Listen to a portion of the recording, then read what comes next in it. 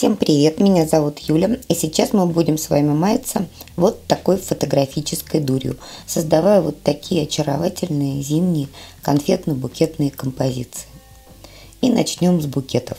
Раскладываем на бумаге разные сушености. Веточки эвкалипта, кустовые розы, гипсофилу, колоски лагурус, тую, все, что под рукой. Все интересное, что осталось от подаренных букетов – или сорванное во дворе, или там где-то найдено, и начинаем красить их самой обычной белой краской из баллончика. Я сейчас крашу дома, поэтому держу баллончик довольно близко к веточкам, чтобы краска не летела по всей комнате. Тем более, что плотная заливка нам не нужна. Надо лишь приглушить общий цвет растений, сделать их более-менее монохромные, знаете, так добиться эффекта такого легкого иния. Высушиваем краску в течение полутора-двух часов и приступаем к сбору букетиков. Тут надо сказать, что у нас не будет каких-либо четких принципов сбора. Все растения монохромные, поэтому испортить букет невозможно. Пожалуй, единственное, чего нужно придерживаться, использовать для одного букета 5-7 растений, не больше. Нам не нужны какие-то там излишние навороты, пышность. Букетики должны быть лаконичными. Произвольно собрав веточки, обматываем их толстой холщовой нитью, вот в месте перехода стеблей в букет, и плотно смазываем нить клеем ПВА. Обрезаем остатки нити, очень хорошо проминаем ее пальцами. Еще раз смазываем клеем и обрезаем концы стебельков. Наш мини-букет готов. Делаем то же самое со всеми остальными растениями. Подбираем веточки по месту, в зависимости от их формы и размера. Например, для этого букетика используем только три веточки. Знаете, это тот самый случай, когда принцип лучше-меньше, да лучше. И пока собираются букетики, можем пофилософствовать.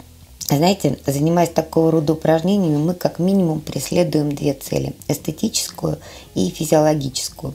Физиологическую потому, что мы развиваем свою мелкую моторику. А моторика – штука крайне важная для хорошей работы наших мозгов.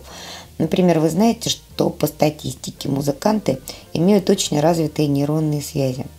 Ну, говоря проще, они сообразительные. Почему? Все потому, что с раннего детства в их жизни очень много этой самой мелкой моторики. Клавиши, струны. На с эстетической все понятно. Все совсем очевидно, согласитесь, это красиво. Можно было бы оставить их и в таком виде, но мы добавим банты.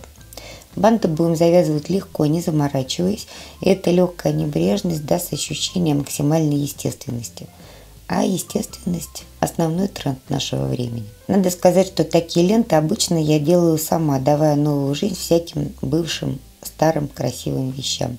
Например, вот эта розовая получилась из хлопковой подкладки моего летнего платья. Отрезала подкладку, видите, она тоненькая, пластичная, очень натуральная. Потом просто разорвала ее на полоски и убрала лишние торчащие нитки. Вот эта белая, она ровно по той же схеме. Это остатки моей любимой летней шелковой майки. Так что, друзья мои, знаете, не торопитесь расставаться с любимыми. Ну вот, банты завязаны, переходим к а конфетам.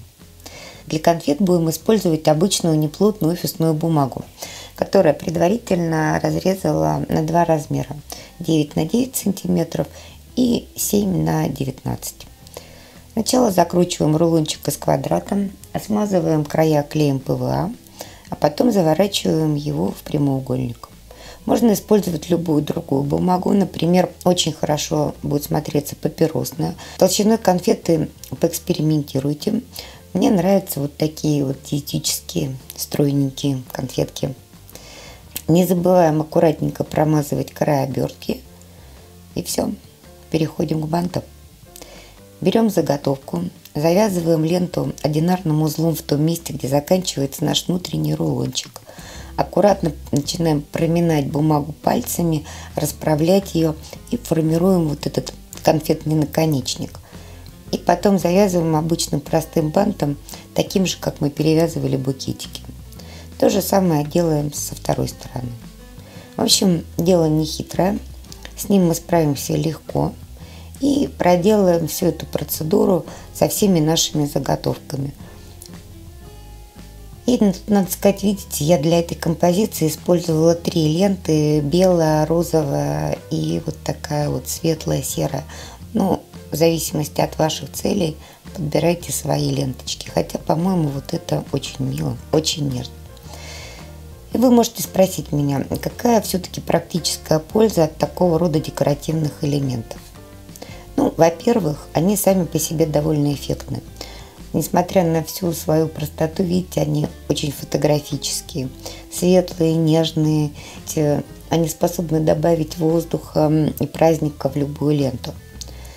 Во-вторых, если вы владелец какого-либо бизнеса, малого, например, да и немалого, например, вы кондитер, либо вы производите какие-либо штучки для дома, там посуду, свечи, крема, не знаю. Если вы работаете в сфере бьюти, например, вы нейл-мастер или мастер эпиляции или лаш, все эти конфеты-букеты будут замечательными соседями вашего главного героя.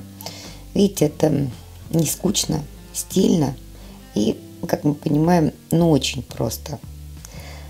Посмотрите видео, в котором я рассказываю, как снимать предметы на ваш телефон и начинайте творить. Я желаю вам всяческих успехов. И если это видео было для вас полезным, подписывайтесь на мой канал, пишите комментарии, ставьте лайки. Я буду рада любому действию с вашей стороны. Спасибо. Пока.